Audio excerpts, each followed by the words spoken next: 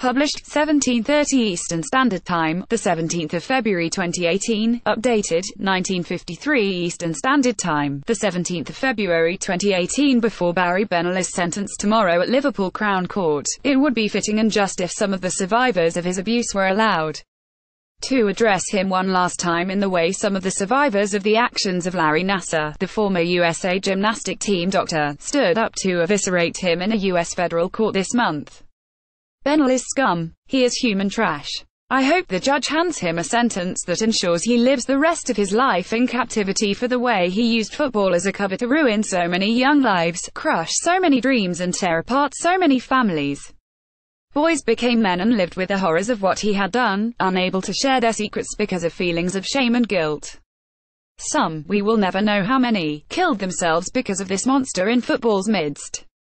Barry Bennell was found guilty of 43 sex offences in total at Liverpool Crown Court. Our legal system does not make provision for it but how right it would seem to see courageous men such as Andy Woodward and Steve Walters, whose bravery in coming forward and waiving their anonymity did so much to bring Bennell to justice, confronting him with the reality of what he had done.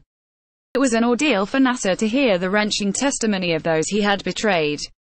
It would be the same for Bennell. I understand that those instincts to see Bennell suffer just a slice of the humiliation he inflicted upon so many others should quickly be superseded by a determination to make sure the conditions that enabled him to roam free at Manchester City and Crewe Alexandra must never be recreated in the modern-day game. But it is also clear that the fight for justice to be served properly will not end with Bennell's sentencing. This is just the start. As soon as he is sent down, many, many hard questions need to be asked of Crewe, in particular, and the way they have approached the scandal that has befallen them.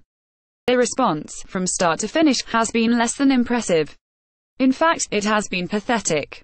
Questions need to be asked of City, too, and it is already clear that their actions at the time of the abuse in the 80s left much to be desired.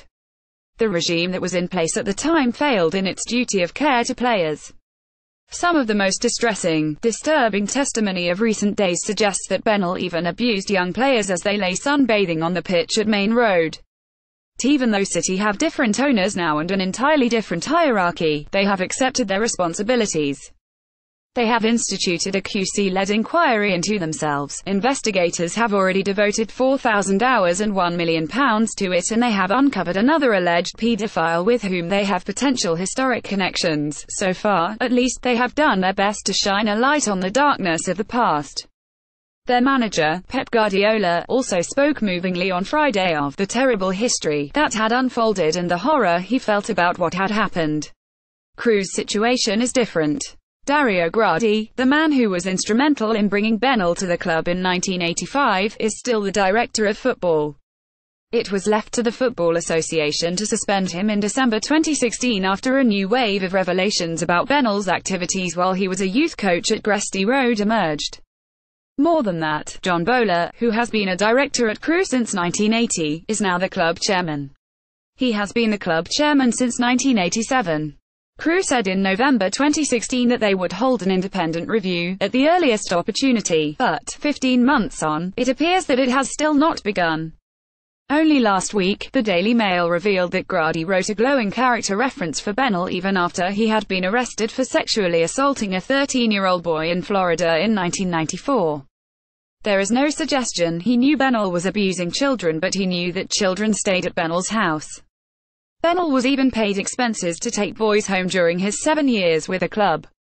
Crewe Alexandra director of football Dario Gradi, right, faces questions about why he provided a character reference for serial paedophile Barry Bennell, left, and Hamilton Smith, a Crewe board member from 1986 to early 1990, said in November 2016 that he was so concerned about Bennell that he had arranged two management meetings in the late 80s to discuss an allegation against him.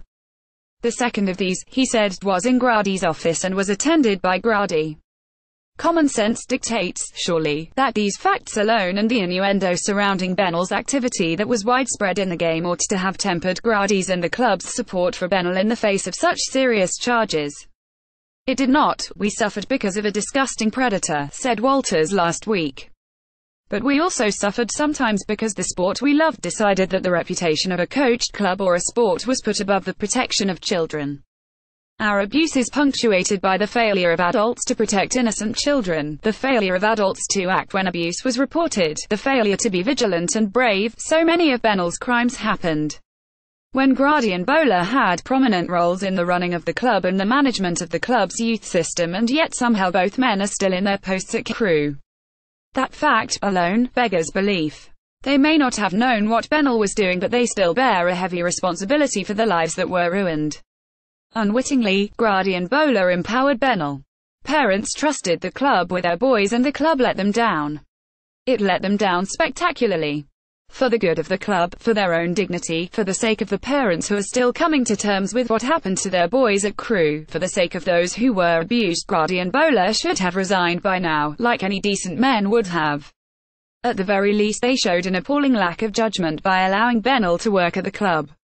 Even on Friday, as Guardiola was talking about the horror of what had happened in front of the world's press, Bowler was sticking to a frosty no-comment when Channel 4's Keme Nzerem spoke to him on his doorstep. The club's lack of public regret for what happened has been grotesque. Guardiola was talking about the horror of what had happened in front of the world's press and the official statement Crewe put on the club website made no apology for what happened.